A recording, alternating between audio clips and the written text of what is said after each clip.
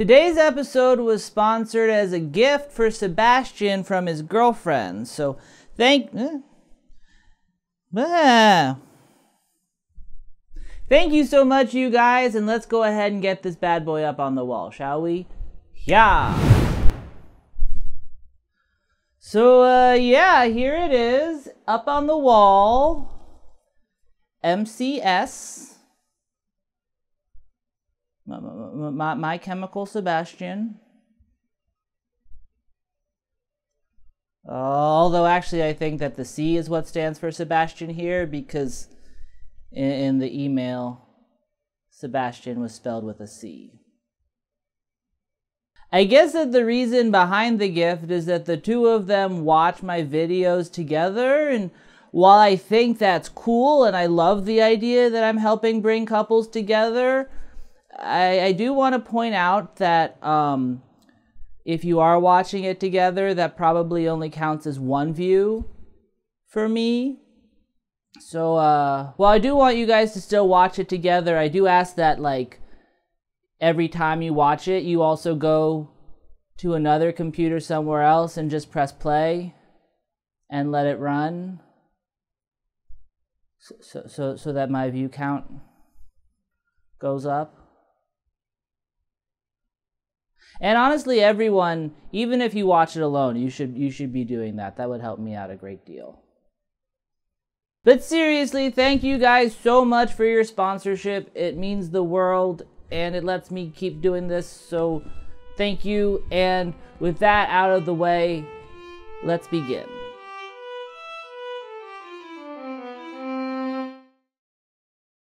Hello, nitwits, and welcome to Knitting Time with Willie. I'm your host, Willie Muse, joined as always by my co host, Nitcolis.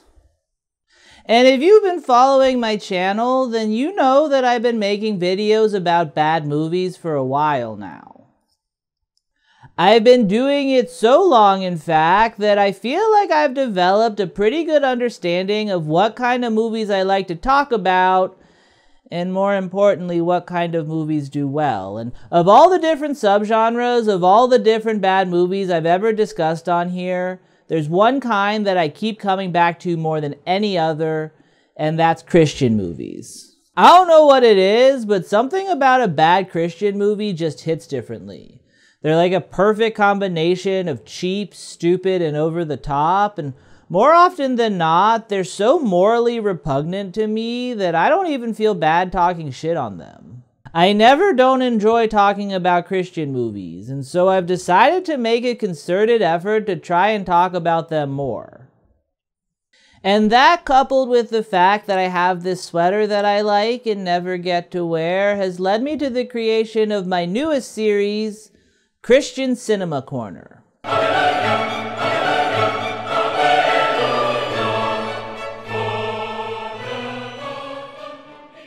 I'm going to call it triple C for short. If I ever do another one of these, which with me is honestly a pretty big if. Although although I did invest in a new tiny hat, so I feel I feel like I'll do it at least once more to justify this. When I got the idea to make videos about Christian movies, the first movie I wanted to talk about was obvious. Because it was the movie I was watching when I got the idea. So.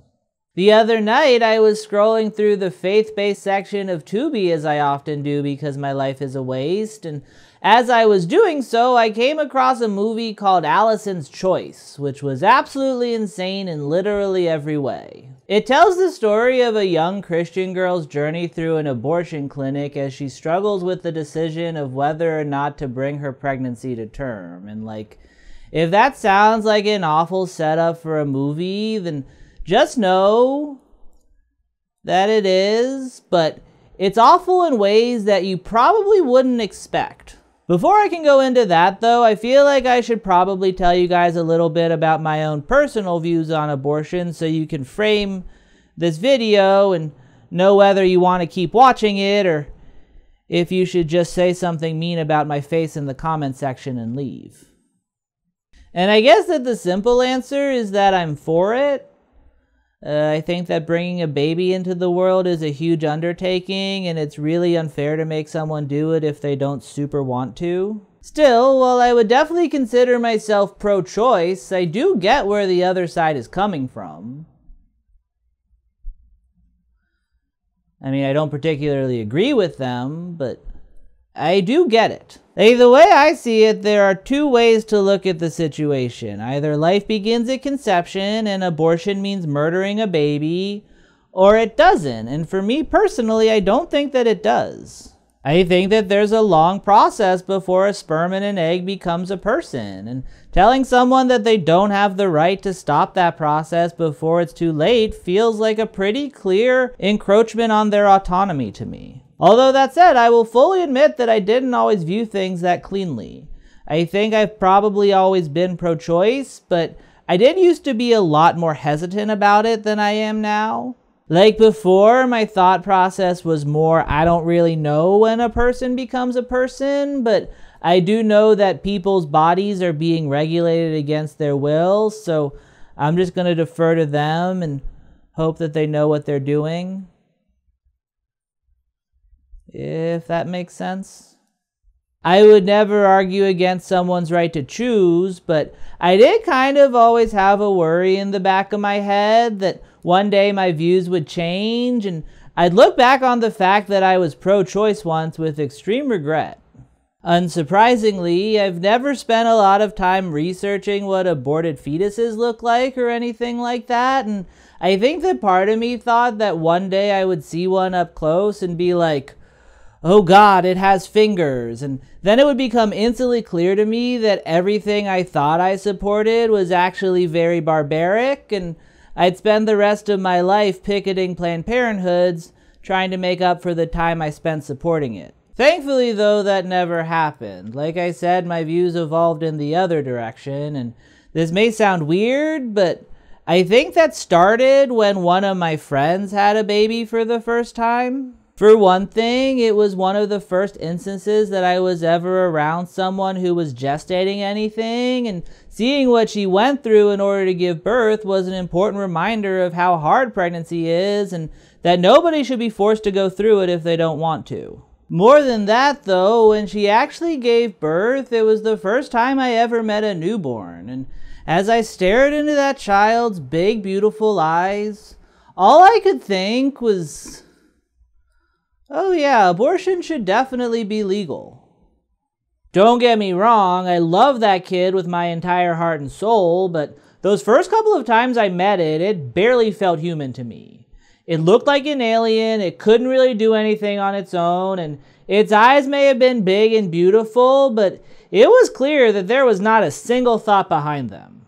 And like, to be clear, this is not me advocating for some form of postnatal abortion or anything like that because, well, that would obviously be murder. But based on what I saw of that newborn, I feel very confident in saying that were you to knock a trimester or two off of its development, it would not register to me as a person in any way, regardless of how many fingers it may have. And obviously, not everyone feels the same way about this issue that I do, and like I said, I do get where they're coming from. I will fully admit that there are times when I see people protesting abortion and think, like, well, yeah, if they really do believe that they live in a world where babies are being legally murdered left and right, then that's what they should be doing because, well, controversial opinion here, but baby murder is bad. Honestly, even though their views are slightly closer to my own, I feel like the anti choice people I disagree with the most are the ones who say that abortion should be illegal, but also think that there should be certain cases where there are exceptions because. I don't know. I feel like if your argument truly is that it's killing babies, then you shouldn't then turn around and be like, but here's when I think that should be allowed. And like, don't get me wrong, I think it makes sense why some people would have those exceptions because the circumstances that they occur tend to be pretty horrific. But I feel like thinking about things like that kind of undercuts just how horrific it can be for someone to give birth against their will, under any set of circumstances. I feel like it should either be allowed or it shouldn't. So when people, most of whom are politicians, try to find some happy medium on the issue, it does feel kind of weird to me. It either means that in their mind something horrific is going on and they're willing to occasionally overlook it in order to make themselves look good, or more likely that they don't genuinely believe that abortion is the same as taking a life, but they're still willing to regulate someone else's body most of the time for their own political gain. And right now, I feel like I'm starting to sound more sympathetic to the staunchly pro life side of the argument than I intend to, so I do want to reiterate that I do not agree with them in any way. I just get where they're coming from. And honestly, even though I get where they're coming from, that doesn't mean that I think what they're saying makes sense most of the time. Generally speaking, the people who are saying that they want to end abortions are the same people arguing against stuff like contraception and sex education. And you'd think that if they were truly against abortions, they'd be in favor of those things, because that's how you prevent them. Honestly, even though this is an extremely polarizing issue, I feel like we should all be on the same side for like 99% of it, because realistically, nobody wants to be getting an abortion. Like, even for people with absolutely no moral objection to it, it's still one more thing that they have to do that day. I think in a perfect world, we'd all agree that we should at the very least be working together to try and combat unplanned pregnancies. But if anything, the pro life crowd makes things way worse in that regard. And I honestly think that's because a lot of them aren't so much against abortion as they are against the idea that we live in a world that's complicated enough that abortions are a thing that someone might possibly need. And I'm going to be saying a lot about religion in this video, so I do want to take a moment up top to say for the record that I'm not actually against it. I think it works for a lot of people, and I'm a staunch supporter of whatever works. That said, though, I do think that the nature of religion attracts a certain type of person who, more than anything, is just looking to not have to think too much about shit. And I feel like it's those people, more than religion itself, that are currently ruining the earth as we know it. They don't want to live in a world that's complex. So when they're confronted with one of the complexities of the world, rather than engaging with it, they kind of just close their eyes and cover their ears and go la la la la la la la la. Nope. That's not how things are supposed to be. It's a very simplistic view of the world, and in order to preserve that view, they ironically end up resorting to some very convoluted ways of thinking. And that actually leads me nicely into this movie because Allison's Choice is pretty much just an hour and a half of this kind of thinking. It all begins in a parking lot where our protagonist is being pressured into sex by her fuckboy of a boyfriend. Can't believe you don't trust me. It's not that I, I don't. wouldn't take any chances. Come on, just for a minute. Oh God. What's with the oh God? I hate that oh God thing you do. I'm sorry, it's just. What is it? You don't love me? And I'll be honest, the first time I watched this, I was kind of surprised that this is how it started, because it kind of felt like the movie was saying that unplanned pregnancies are often complicated situations that aren't as cut and dry as the people who promote abstinence and shit often want to make them seem. I almost turned it off there and then, because it seemed to me like there may have been an ounce of nuance at play here, and nuance is not the reason I tune into Christian movies. Thankfully, though, I stuck it out long enough to see that this movie is about as nuanced as a baked potato. And now looking back on this first scene, knowing what comes after it, I feel like the intention here is less to show the complexity of the situation and more to make it crystal clear to the audience that our protagonist never wanted to have sex. The movie wants us to believe that Allison is ultimately a good and virtuous woman, and I honestly don't think that the people making this think that she could still be that if she in any way enjoyed sex, so they had to show us a scene of her being coerced. And that's kind of the thing that you need to keep in mind about this movie. There are a lot of times where it feels like it's presenting a surprisingly two sided depiction of abortion, but I don't think that that's ever intentional. There were a lot of times when they would present a pro choice agenda in a way that to me didn't feel over the top, and I was always kind of surprised by it, but then I would keep thinking about it a little longer and start to realize that, like, actually, no, I think that that was supposed to seem over the top. It just didn't translate to me personally. Like, I kind of get the sense that the people who made this movie are so deeply convinced that they're right that literally any argument that goes against the idea that life begins at conception seems comically absurd to them. And because of that, I did sometimes come away feeling like a lot of the subtext of what I watched was lost on me, just by virtue of the fact that I don't view the world through the eyes of a pro life evangelical Christian. But yeah, Allison does the nasty, gets knocked up, and decides to have an abortion. Or, or rather, I think that the implication here is that her boyfriend convinces her to have an abortion because, well, despite being called Allison's choice, this movie doesn't really seem all that interested in letting its protagonist have any agency. She drives herself because her boyfriend sucks, and she goes into the clinic where she's so overwhelmed that the mere act of filling out some paperwork causes her to disassociate. Allison? Allison? Hmm? Done with your paperwork? Uh,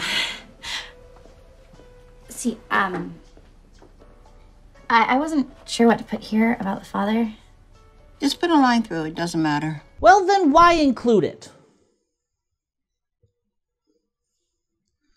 I'm sorry, that was less a criticism of this movie than of the American healthcare system in general, but when I think about the time I've wasted filling out unnecessary questions on intake forms, it does make me mad. Um, I just don't want anyone. I mean, it's, not like I don't know who it is. We're actually planning on having a family. Just leave it blank. It doesn't matter. Girl, leave it blank. See me? I always leave it blank. If he ain't here with you, he's a blank. They all blank, so you might as well just go on and go blank. Or you can write something more colorful, that's it. Oh yeah, that's the other thing about this movie. It's weirdly racist. And honestly, I feel like me saying that is kind of complicated because that is obviously an actress of color, so for me to imply that her performance is racist does make me feel hinky because well, for one thing, I honestly think she kind of crushes it. She is easily the best actress in this entire film. Still, though, I think that she makes the most of what she's been given, when I actually listen to the words that she's been given, it does start to feel a little bit questionable. I know who wrote and directed this movie, it's this dude right here, and when I picture him hunched over his laptop typing out dialogue like this. the Lucretia had to spill her guts, everyone come around asking her business. I didn't know you from nowhere, girl. But now, since we sisters and all. It does lead me to believe that he's never actually met a black person in his entire life. Also, despite the fact that there are no Asian people with speaking roles here, there are at least two moments that felt weirdly anti-Asian, so... Yeah, not entirely sure how they managed that, but I will point them out to you as we go. Okay. You intend to pay cash? Oh, yeah, um, I have it right here. She's a first timer, Miss Glow. Girl, you ain't gotta pay. Tell her. Here, let me just give you this. And you hold on to this and I'll let you know. Wait, so is that lady making a joke?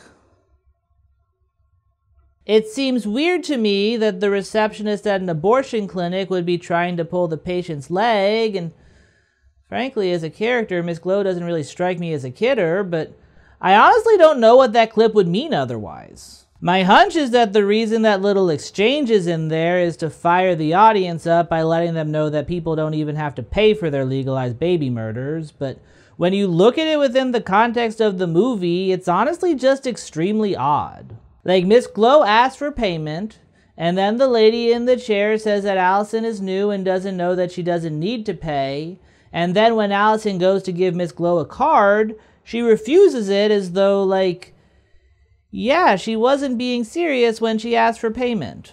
Based solely on what the movie shows us, it very much seems like this lady is stoically razzing the newbie with one of the weirdest pranks that I have ever seen in my life.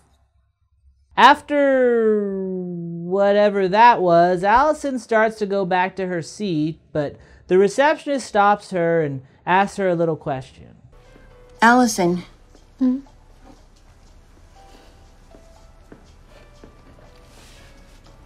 I could lose my job for asking you this. But are you sure about what you're doing? No.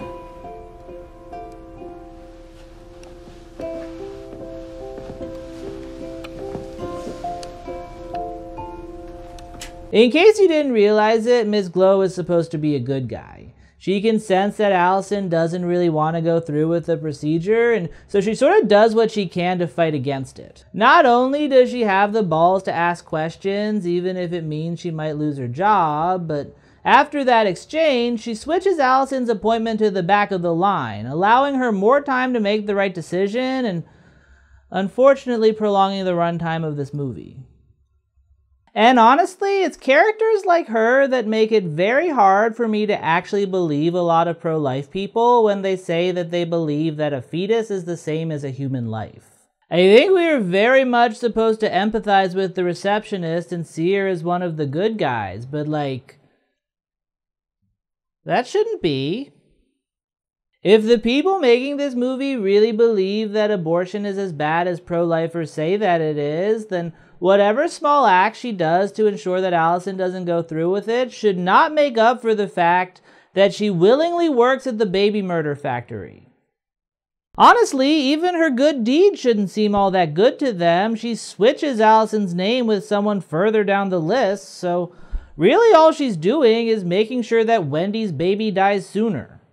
I guess that maybe you could argue that this character is an extremely subtle portrayal of the banality of evil, but I don't think that this movie is that deep. I think the much more likely answer is that this character is meant to show that abortion is so universally hated that even the people who work in the clinics want to stop it. But if that's what they're going for, then those people working in the clinic should still come off as evil because from their perspective, they would be regardless of how many inappropriate questions they ask. Also, I call bullshit on that entire exchange. I feel like that whole part about her saying she could lose her job was designed to rile up the audience, like they'd fire someone just for asking questions, but I don't even think that's true. Correct me if I'm wrong, but I'm pretty sure that most states require that the clinic ask the patient if they're sure. It just probably doesn't happen in the waiting room. I wouldn't be surprised if this whole exchange was a reference to an actual thing that happened where a receptionist in the real world lost their job for asking a patient if they were sure, and it's like, yeah, they probably got fired for the same reason they get fired if they gave the patient a rectal examination. It's inappropriate for them to do it because it's not their job. Allison goes back to her chair and waits for her name to be called. And as she does, we get this weird sequence of voiceover. Allison, I have loved you since before your days began. I've loved you with a love that is everlasting, with faithfulness and desire for your goodness beyond your furthest dreams. I have a future and a plan for you, Allison. It would melt your heart to know even the tiniest measure of care and wonder that lie before you within the embrace of my hope. And I will never leave you, Allison. As so many have, I will never abandon or turn you away. And I love you, Allison. I love you. I love you. I love you. Do you guys think he loves her? I know that's supposed to be hopeful God talk and shit, but if you showed me that clip in a vacuum, I would 100% assume it was from a horror movie, because it all felt just a wee bit stalkerish to me. It doesn't help matters that the disembodied voice is soon given a body in the form of the clinic's janitor. And like I said earlier, he's played by the guy who wrote and directed this movie, so clearly the dude wanted this role, but I don't know. I feel like he maybe should have done a round of casting instead because he has a very intense energy. Excuse me, miss. Hmm? May I? Oh, yeah, sorry. No, no, just. Oh, right, sorry. I'm, I'm a little new at this. Yeah, I know. Okay, if Allison really wants to choose life, she will get away from that man immediately. Also, I feel like they're laying it on a bit thick that this is Allison's first time at the clinic. Uh, like, just because this is her first time getting an abortion, that doesn't mean that she shouldn't know when to lift her feet. Honestly, the movie mentions the fact that this is Allison's first time so much that it does make me think that the people making it believe that that is unusual in some way. Based solely on the fact that the lady from before was on a first name basis with the receptionist, I kind of get the sense that the people making this think that there are certain women out there who treat Planned Parenthoods like a hair salon or something, you know? Just like just like a place that they go to hang out in once a month when they need a touch up. I didn't get your name before. You didn't ask before.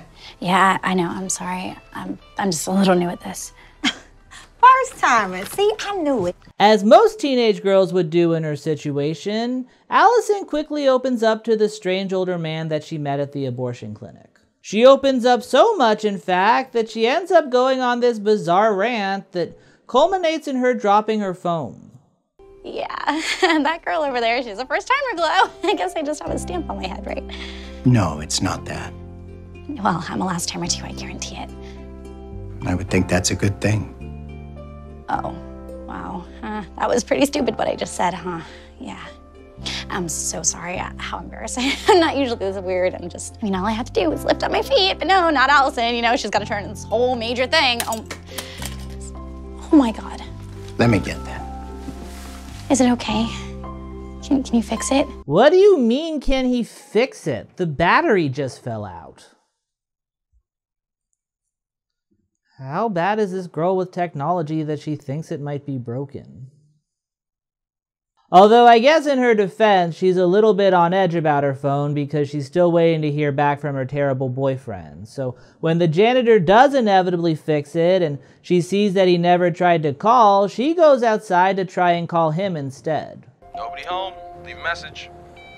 Uh, hi. Um, I guess you're still sleeping. That's good. Uh, you need your sleep. I'm, I'm glad. Uh, Oh my god, dump his ass!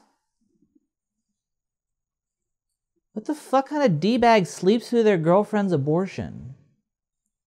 Honestly, the movie is unintentionally making a pretty strong case in favor of choice right now, because nobody on earth should ever be forced to raise a kid for the rest of their life with somebody that shitty. Unsurprisingly, though, I don't think that's the argument they're going for here.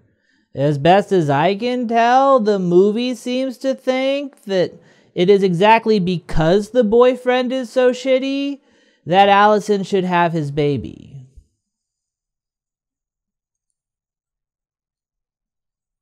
Yeah.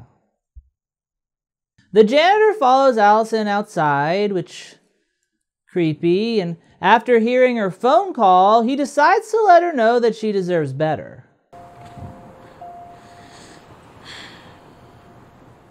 is sleeping. At least I hope is sleeping. Yeah, it's not nice. But you know, you could end up with that guy. It's not a good thing. Better you find out now. A lovely young woman like yourself deserves a guy who will treat her like a lovely young woman like yourself. Okay, I'm sorry to harp on this point, but I really think that Allison should be doing everything in her power to get as far away from this man as she can right now. She's currently alone and vulnerable in a new place, and so far he's followed her into a parking lot, eavesdropped on her phone call, and tried to get her to break up with her boyfriend by telling her how special she is. Granted, we do later find out that he's actually an extremely good guy,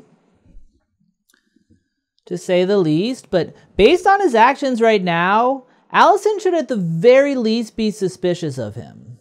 Of course, she isn't, though. Instead, she just opens up to him some more, and in doing so, she accidentally admits that she's not sure if she wants to go through with this. You've probably met a million girls just like me. And then some. Every one of them special, every one of them precious. And every one of them facing the exact same question What do I do now? As if I have a choice. Oh, wow. Tell me I didn't just say that.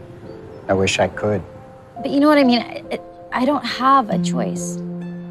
Like, what else can I do? How about have a baby? And given that that speech comes on the heels of the janitor saying that she deserves better, I'm pretty sure that the implication here is that since Allison's boyfriend sucks, and since Allison's boyfriend is the one telling her that she shouldn't have the baby, that means that Allison should have the baby. Uh, which is a very weird argument. And what makes it even weirder is the fact that it is also an inherently pro choice argument. Like, she literally just said choice. And this part is honestly kind of insidious because it's presenting a very specific situation and using it as proof of something much broader. It's at this point that they make it really explicit that Allison is only going through with the procedure because her boyfriend wants her to. That's crazy. I can barely take care of myself. I mean, I, I want to have kids. It's it's not like I'm against it. It's just it's not the right time, I guess. Especially with Rick. That's his name, Rick. I already told you that. If we were going good, maybe, but he just keeps telling me to do this that everything will be good again if I just do this. And it's like, yeah, that's fucked up. Allison is clearly in a gross relationship and she needs to learn how to stand up for herself a little bit more. But that doesn't then mean that all people should not be allowed to regulate their own bodies. Call me a cuck, but I do think that the subtext here is pretty sexist because it feels like the movie is saying that women don't actually know what's best for them. Only this creepy janitor does, apparently.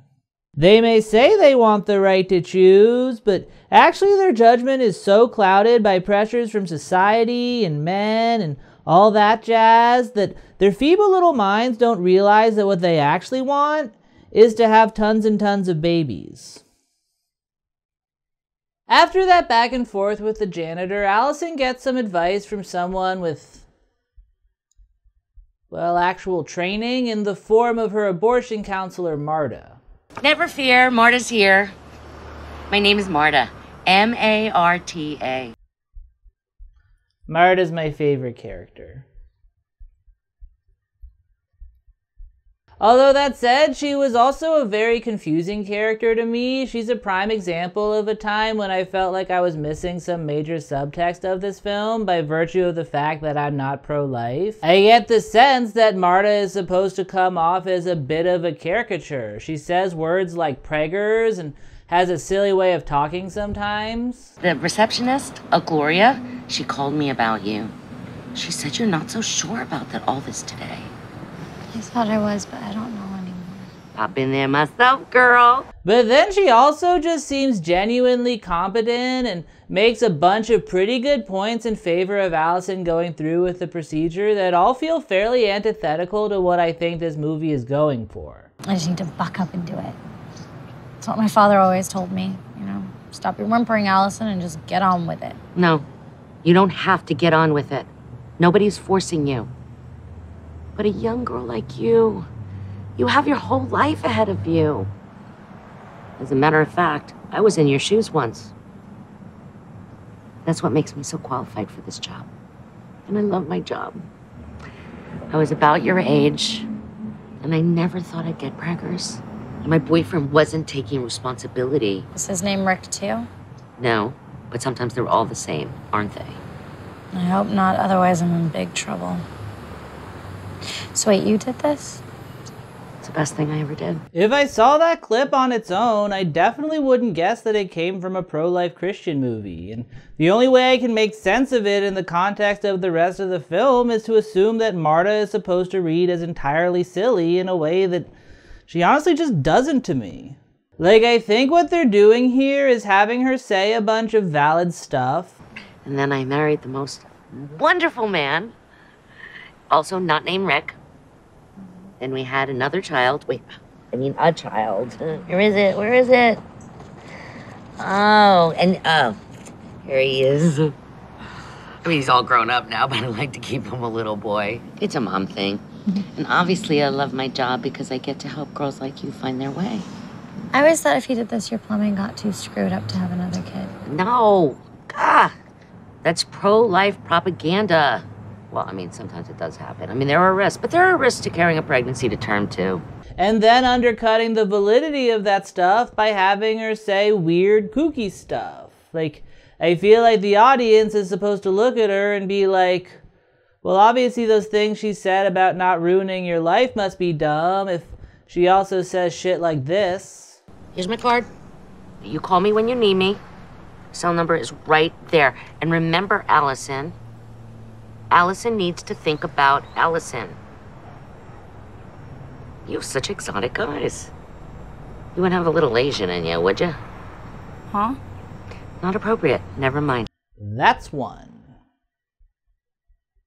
I guess that it could also be the case that the point the movie is trying to make here is that it doesn't really matter how good the arguments in favor of abortion are because Marta soon leaves, and when she does, the janitor hits Allison with the only argument that really matters. There's something that MARTA didn't tell you, Allison. Your baby. She's a little girl. And this is where we get to the big twist of the movie, because after he tells Allison the gender of her unborn child, she realizes that Marta never actually saw him. Wait a minute. She didn't. See me. How could she not? Who are you? Well, I'm not a ghost. I'm certainly no angel. I'm definitely not. Kind of leaves only one option. Oh, God. You gotta be more careful with that, Allison. You say, oh God, and oh God is what you're gonna get. Okay, not for nothing, but saying that I'm not is totally something that would say. So. But yeah, he reveals that he's actually God, come down from the heavens to help Allison make the right decision. And as you can imagine, this is a lot for her to take in. So she does what she should have done 20 minutes ago and runs away from the strange man as fast as she can. And as Allison does her best to make sure she's surrounded by plenty of witnesses, the janitor does what every all loving God would do in this situation. He follows her inside and menacingly stares at her from across the room. Is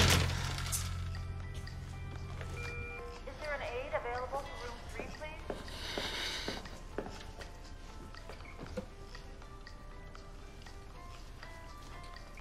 I I didn't get your name before. Okay, I don't care if he is God, he's still creepy as shit. Because that woman, whose name is Lucretia, seems intimately familiar with the clinic, Allison decides to ask her if she knows anything about the maintenance man. Uh, Lucretia? Mm-hmm. Do you know that maintenance man over there? Not that you would, it's just you seem to know people around here, so. Maintenance man. I ain't never met no maintenance man, although my mama tell me my daddy was a maintenance man among other things, if you know what I'm talking about. So you don't know him? Girl, is you high? What you been smoking? And this is kind of where the central conceit of this movie falls apart for me, because, like, does Lucretia really not have any follow up questions there? Based on everything she's just said, it very much seems like Allison is hallucinating right now. So you'd think that at the very least, Lucretia would make a note of it.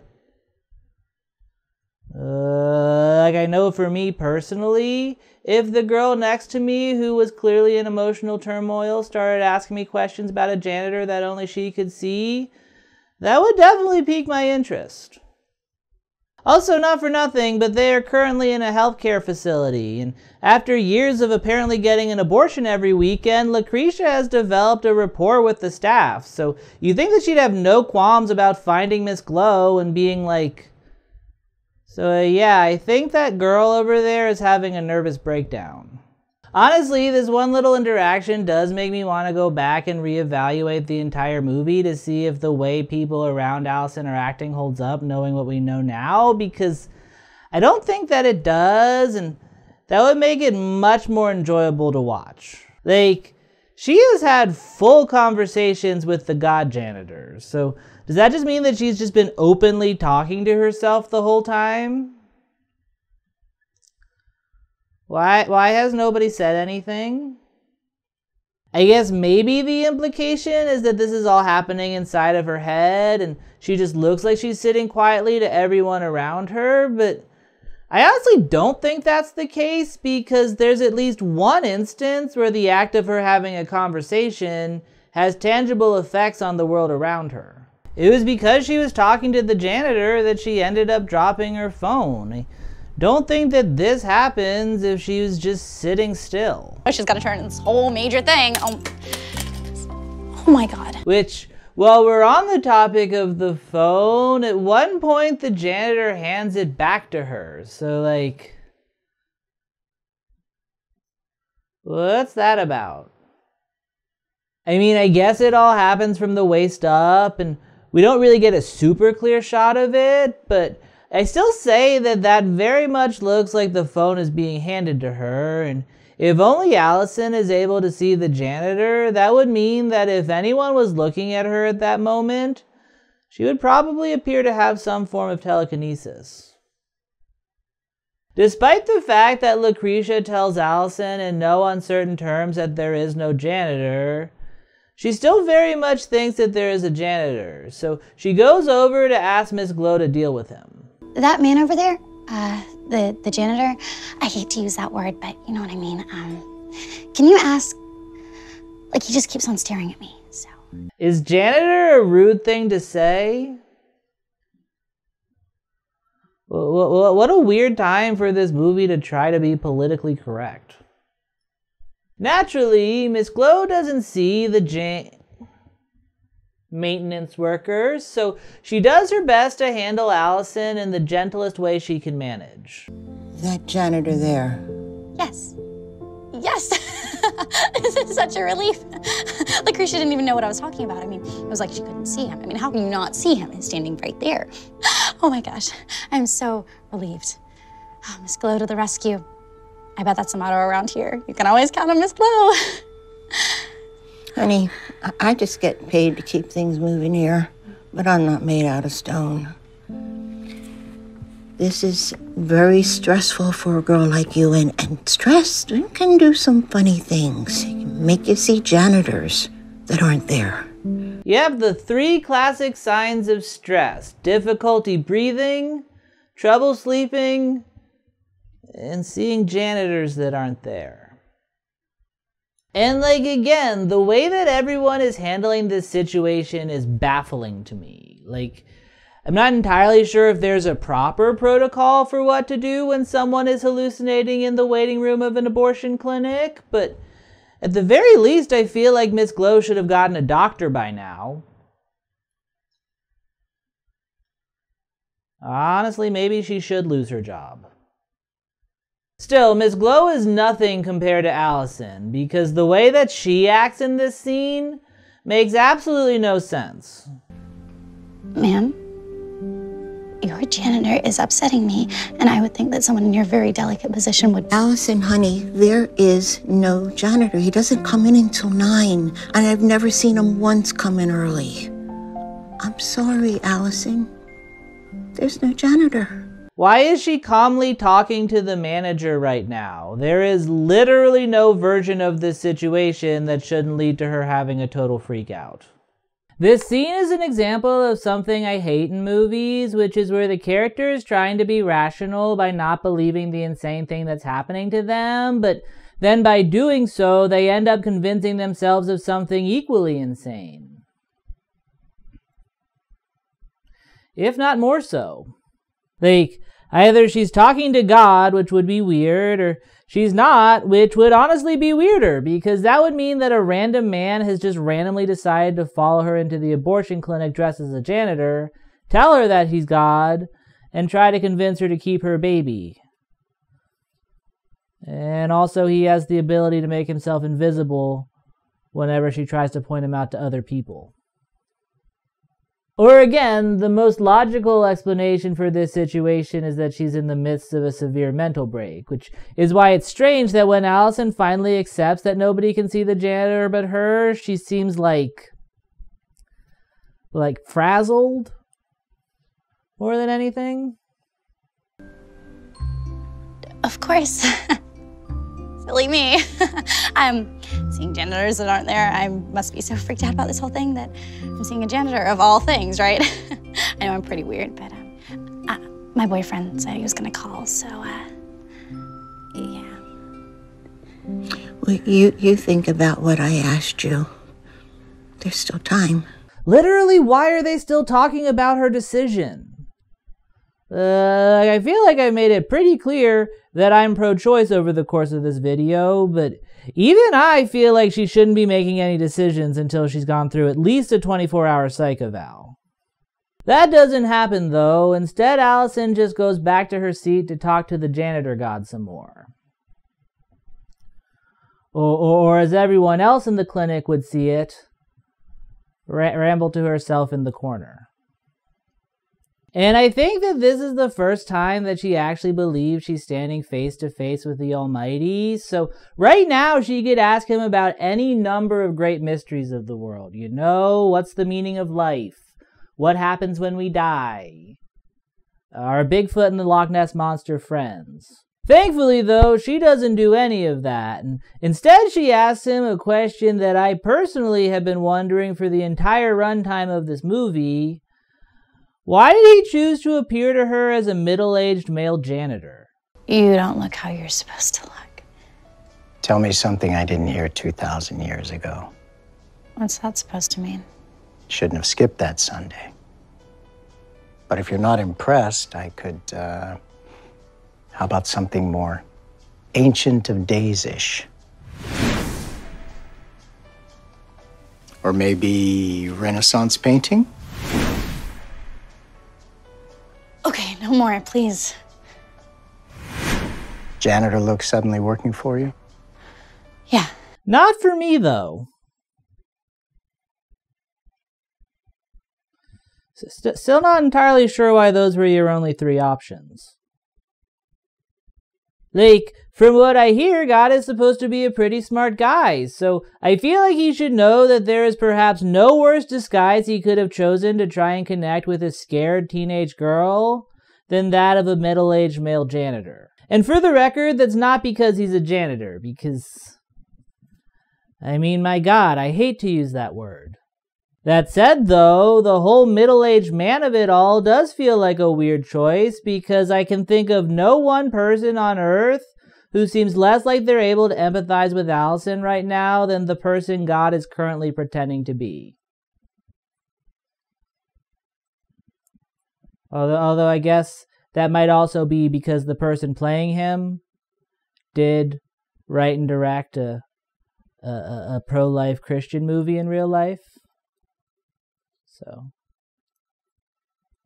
Honestly, I feel like were God being strategic on this one, he would have posed as someone more like Miss Glow, the receptionist. But I feel like the idea of that probably was a non starter for this movie because, one, it would mean that the director couldn't fulfill his dream of casting himself as Jesus Christ. And two, it would mean that God would be a woman, which would be blasphemous because everyone knows that God is a boy. Uh, which, like, given how many times I've heard this side argue that gender is determined by one's genitalia, would suggest that according to evangelical canon, God has a penis. Which is weird. Um, I'm not. I'm not sure why he would need one of those.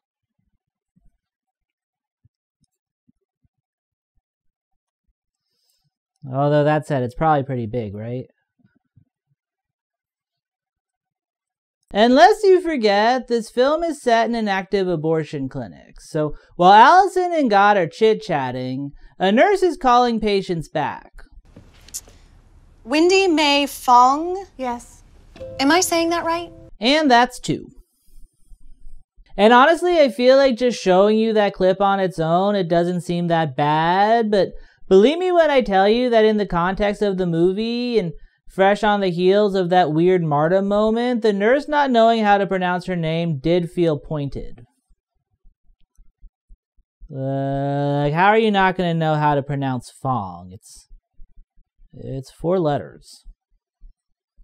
When he sees that woman go into the operating room, God is. Well, he's not happy. Thank you very much.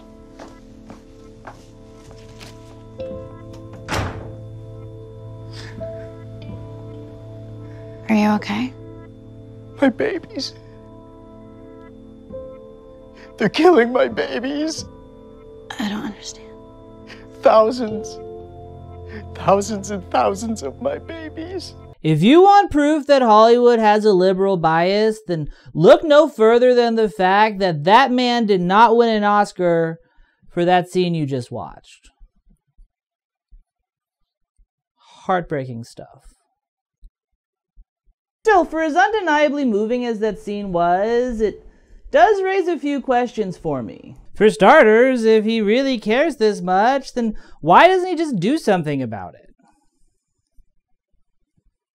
Uh, we all saw what he did to Sodom and Gomorrah. We know what he's capable of.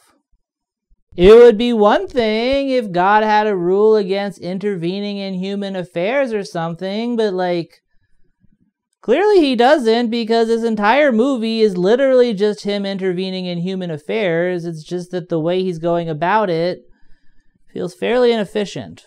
I'm not saying I'd want this to happen, but if God really wanted to prevent abortion, raining fire down onto Planned Parenthoods across the country would be a much more effective way to go about it than dressing up like a janitor and going from knocked up teen to knocked up teen, performatively crying in front of them until they change their mind. Which is another thing. I don't know that I buy those tears, because if abortions really do make God cry, then how come he hasn't been crying this entire time? Uh, like I said, he has been in an active abortion clinic for the entire runtime of this movie. Based on Miss Glow's list from earlier, at least two canonical abortions have occurred over the course of this film that God didn't shed a tear over. And, like, those are just the ones we know about. He is, after all, God, so, like, isn't he everywhere? Based on the statistics this movie gives, it seems like there's a pretty steady stream of procedures going on at all times, and a being who's omnipotent would know about every last one of them, so it feels weird to me that he'd wait until Wendy Mae Fong to start blubbering like that. Hey guys, Willie who's editing here, and I just want to take a second to say that I'm actually wrong about this. While I was rewatching the movie to add clips, I realized that God does actually cry the first time we see a woman go back into the into the back rooms. Heather? That's me.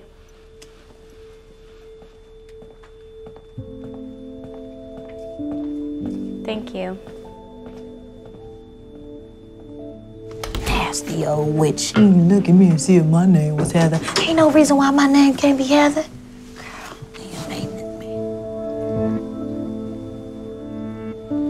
I still say that he probably should have been crying the entire time because, like, there's probably an abortion in Turkey that we're not seeing, but I will admit that uh, the movie kind of won this round, so my apologies.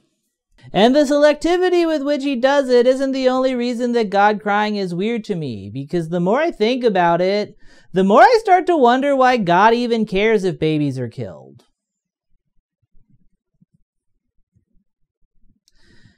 Sounds weird saying that out loud, but hear me out.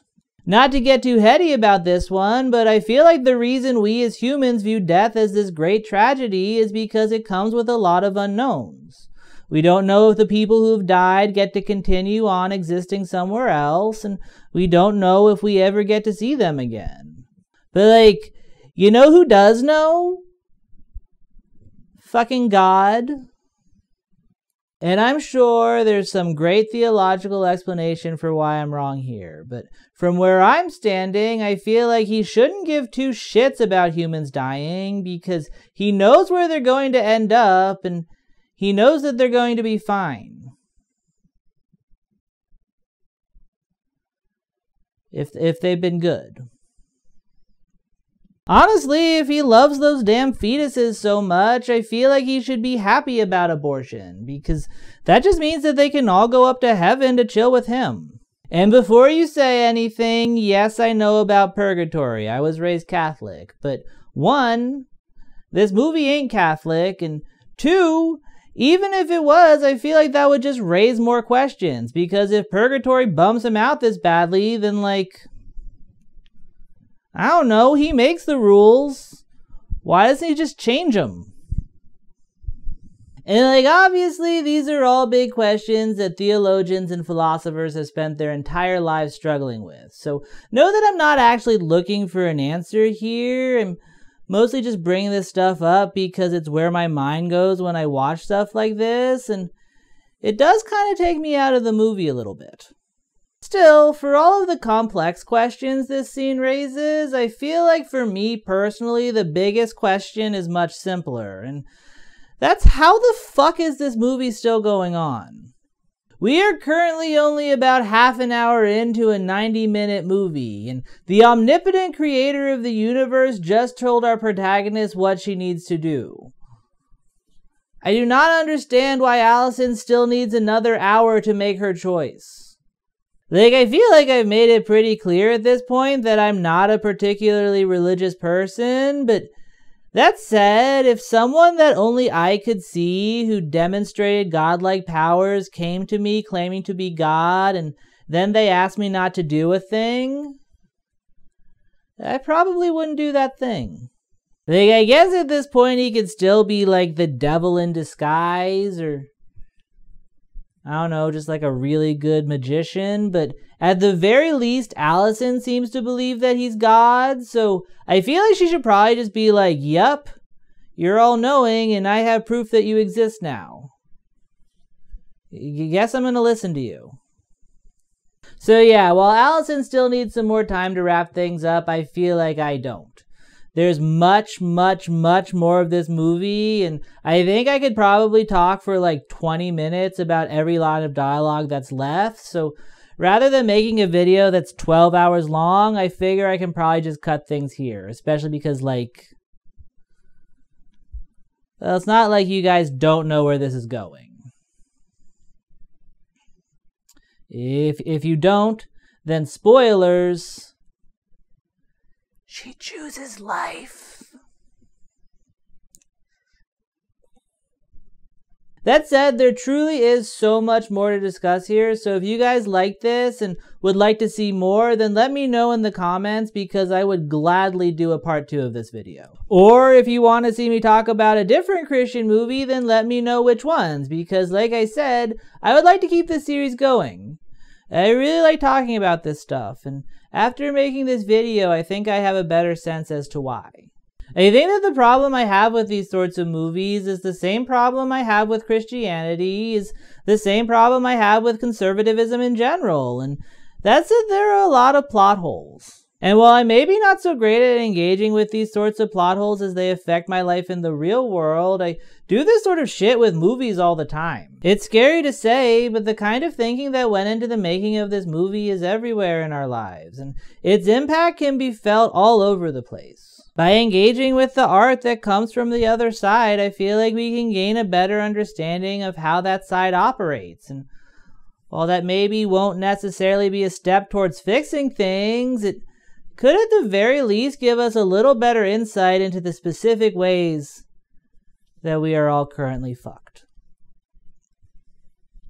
But yeah, that's my video. Please like, please like and subscribe and share and all that fun stuff.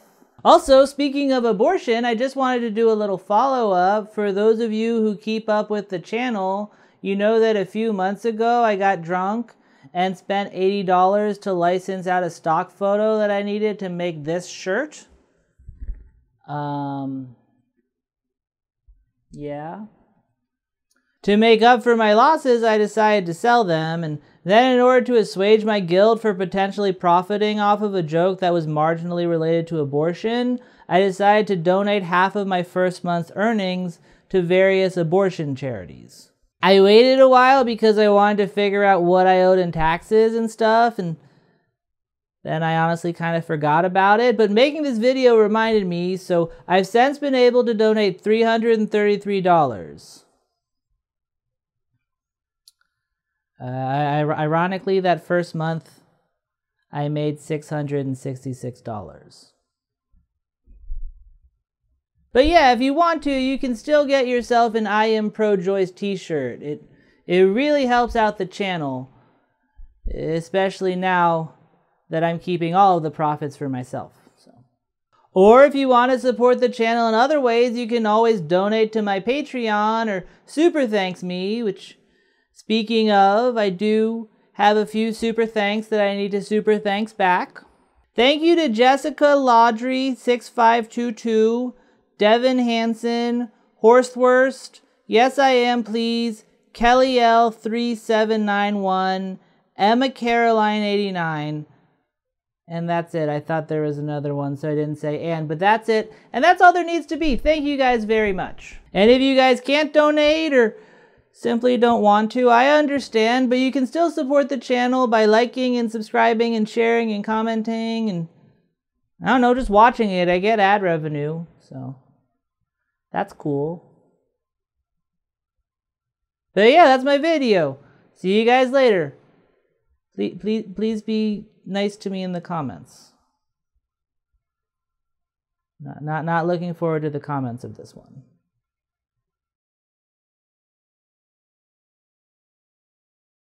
Welcome back, real fans. It's time for everyone's favorite part of the episode, the part where I pose while my patrons' names scroll. Yeah. Um, so for this one, I feel like I should be confused more than anything. I'm going to mention that it's, I think the title is going to be This Christian Movie is the worst argument against abortion I've ever seen. So I feel like I should be like hearing an argument and being like, what? Uh, how do I do this with the hat? Let's see. Move this here. Well, okay. It's always hard to edit my hats because they feel like I have dark a dark patch right here, and so when I go to edit it, it I can just do that later. I don't know why I'm telling you, so I just need to be like confused, like what? What? Huh?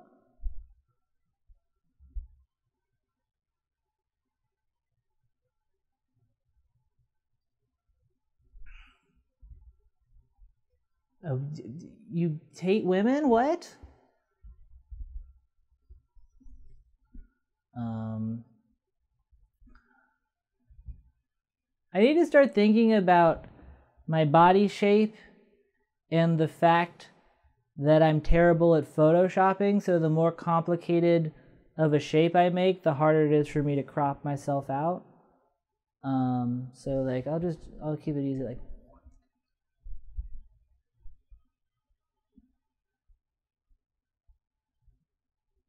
I wish I was better at that one eyebrow thing. Like, can't I can't do without closing this eye too much. I'm not the Rock. What if I were though? That'd be weird.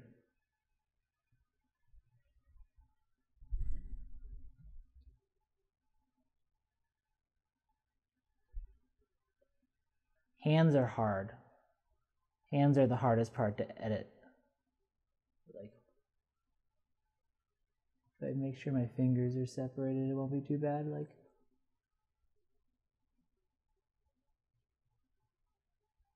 although I don't know what picture I should use as the background because it's it's not a very evocative looking film. It's it's um it's it's kind of, it's kind of just all in a waiting room. Um, I guess there's a part that I didn't show if I didn't show it, should I can I still use the thing for the thumbnail? Because there's a part that I didn't show. Maybe I'll show the next where like he like shows Allison what her fetus looks like, and it's like it would do well as a thumbnail, but like I don't want people clicking in and being like, "Where's the cheap CGI fetus I came for?" Well, maybe if I talk about it now, that counts as me saying it. I'm talking about the cheap CGI fetus. So here's a clip of the. Ch- I, I won't remember to add that in, but I should. It's late, and I'm kind of scrambled. I went away this weekend, so I'm kind of scrambling to get this video out in time, especially because I didn't put up a video last month because of a copyright claim. It's all just insane.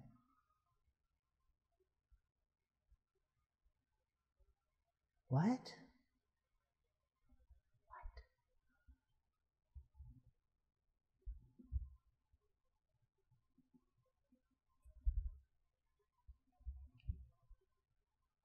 And then maybe one just prayer hands.